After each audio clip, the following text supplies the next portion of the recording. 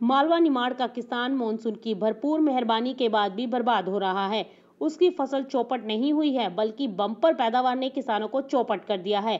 इस बार इतनी ज़बरदस्त फ़सल हुई है कि फ़सल के दाम ज़मीन पर आ गिरे। खेतों में माल भरा पड़ा है, उन्हें उठाने वाला कोई नहीं। अगर ढुलाई करें तो उसका भाड़ा दाम से ज़्यादा लगेगा। इसलिए किसानों ने लहसुन नदी में फेंकना शुरू कर दिया है। मालवा निमाड़ में इस बार लहसुन की बम्पर पैदावार किसानों के लिए मुसीबत बनती जा रही है।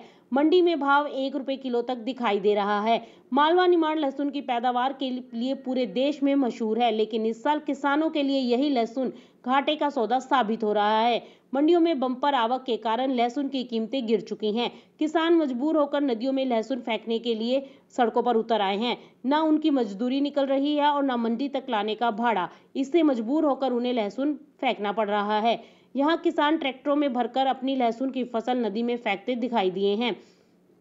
वहीं इसमें लागत तक नहीं निकल पा रही और मजदूरों की मजदूरी तो दूर की बात, मंडी तक ले जाने का भाड़ा भी किसानों को नहीं मिल पा रहा है। मंडी जाकर किसानों का कहना है कि मरने से अच्छा है कि वो इसे सड़क पर फेंक दें। उनका कहना है कि हम अपनी लागत नहीं निकाल पा रहे और बारिश के मौसम में रखे रखे लहसुन भी हमारा खराब हो चुका है तो सही दाम मिलने की फ़िलहाल कोई उम्मीद नहीं है। इसीलिए हम मजबूरी में इसे फेंक रहे हैं। इंदौर ज़िले के सांवेर के किसानों का पुल से लहसुन फेंकने का एक वीडियो सामने आने के बाद स्थानीय विधायक और जल संसाधन मंत्री तुलसी सिलावट बैकफुट पर नज़र आ रहे हैं। वो किसानों से बात करने की बात कह रहे हैं। क्षेत्रीय सांसद शंकर लालवानी इसके लिए अपनी ही सरकार को दोषी बताते नज़र आए। उनका कहना है कि ओपन मार्केट में कीमतें बढ़ती गिरती रहती हैं, इससे ये स्थिति बनी हुई है। लेकिन जिस तरह पिछली बार सरकार ने प्याज और लहसुन को न्यूनतम समर्थन मूल्य पर खरीदा था, उसी तरह इस बार भी लहसुन को मिनिमम सपोर्ट प्राइस पर खरीदने के लिए हमने सरकार से निवेदन किया है। मंडियों में बंपर आवक की वजह से व्यापारी मनमर्जी से लहसुन के दाम तय कर रहे हैं, इससे किसान बेहद परेशान हैं। विपक्षी दल कांग्रेस को सरकार को घेरने का मौका मिल रहा है।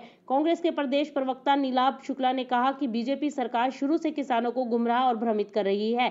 न किसानों को समर्थन मूल्य मिल रहा है और न ही भावांतर मिल रहा है, इसलिए किसान अपनी फ़सल फेंकने पर मजबूर हैं। सामेर मंत्री तुलसी सिलावट का इलाका होने के बावजूद यहाँ की स्थिति भी विकट बनी हुई है। प्रदेश की सबसे बड़ी देवी अलिहा अहिल्याबाई होकर फल और सब्ज़ी मंडी में इन दिनों लहसुन और प्याज की आवक बहुत ज़्यादा है। जहाँ लहसुन की रोज़ाना 1200 से 1500 क्विंटल की आवक देखने को मिल रही है। लहसुन का बंपर उत्पादन और डिमांड कम होने की वजह से दाम गिर गए हैं। मध्य प्रदेश से लहसुन गुजरात, पंजाब, दिल्ली तक सप्लाई होता है, लेकिन अभी वहाँ भी डिमांड नहीं है। हालाँकि व्यापारियों को उम्मीद है कि अक्टूबर के अंत तक कुछ डिमांड बढ़ सकती है और हो सकता है कि प्राइजेस में थोड़ा सा सपोर्ट मिलता हुआ दिखाई दे। Bureau report, market times TV.